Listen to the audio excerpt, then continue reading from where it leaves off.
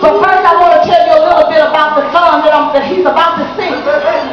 I can't forget what he done for me. How many of you can't forget what God done for you? Why?